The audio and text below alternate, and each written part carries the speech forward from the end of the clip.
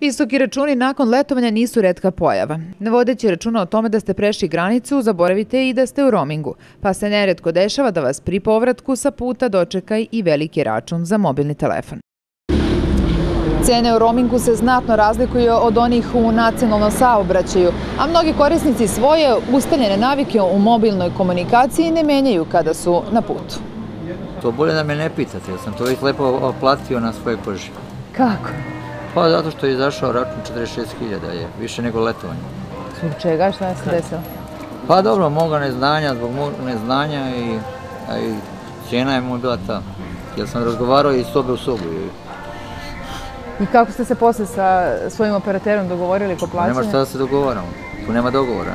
Ugovorio se, platio. Nego jednostavno da platiš i zdravo.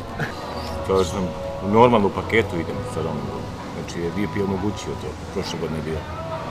Ne bude vam povećan račun uh, za korišćenje interneta, da li kupujete kartice? Ne, ne, ali koristimo wireless recimo, ali deo samo, uvek je povećan račun za neki 1000 dinara, obavezno, znači, obavezno, poruka i ostalo. Ne predstavlja problem uglavnom.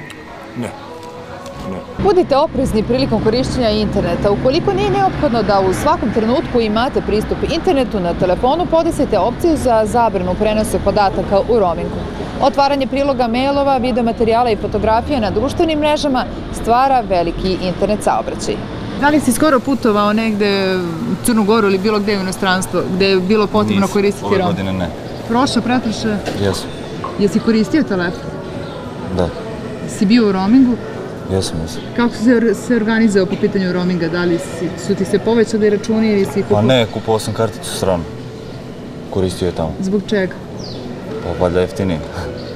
Raspitajte se da li vaš operator nudi specijalne roaming promocije u vidu paketa dodatnih minuta i megabajta za prenos podataka.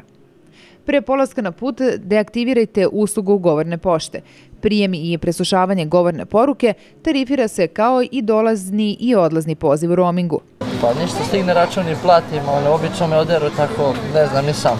Koliko? Pa, uvek neke poruke, premium, roaming što stiže, stvarno ne znam o čemu se radi, ali baš. I koliko su ti računi? Par hiljada dolazi, a van paketa. Da li si se informisao nešto u, e, kod svog operatera, da li postoje neki popusti za roaming? Pa ne, sa mojim, sa mojim operaterima imam uvek problema, zato što mi uvek e, preko paketa prebace neke što uopšte nema, nema veze sa tim. Slanje SMS poruke za proveru stanja na računu kod nekih operatera se tarifira prema važećem cenovniku za SMS u roamingu. Proverite da li vaš operator ima Wi-Fi opciju i gde god je ona dostupna koristite lokalnu Wi-Fi mrežu za opciju prenosa podataka. Obratite pažnju da će se ukoliko dođe do prekida Wi-Fi signala, a usluga prenosa podataka nije deaktivirana, vaš aparat automatski prebaciti na GPRS mrežu i nastaviti prenos podataka koji se tarifira prema cenovniku za roaming. To mi se desilo pre par godina i zato više kad idemo u Ausland ne, ne koristim taj broj. Recimo sad sam u Srbiji i ne koristim broj iz Auslanda.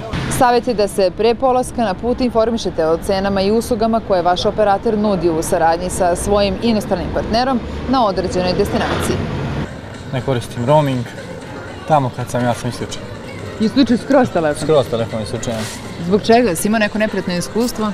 Pa ne, šta znamo i naši operateri su malo više skupi što se tiče tog roaminga. Sad su tek ove godine kao veli neke promocije, pogodnosti i ostale. Ako odem tamo ja kupim njihovu karticu onda s njihove kartice pozivam i dosta mi jeftinije. Smart telefoni sadrže u sebi aplikacije koje zahtevaju vezu sa internetom, na primjer automatsko ažuriranje softvera, aplikacija ili elektronske pošte. Zbog toga je preporuka da isključite opciju automatskog ažuriranja podataka.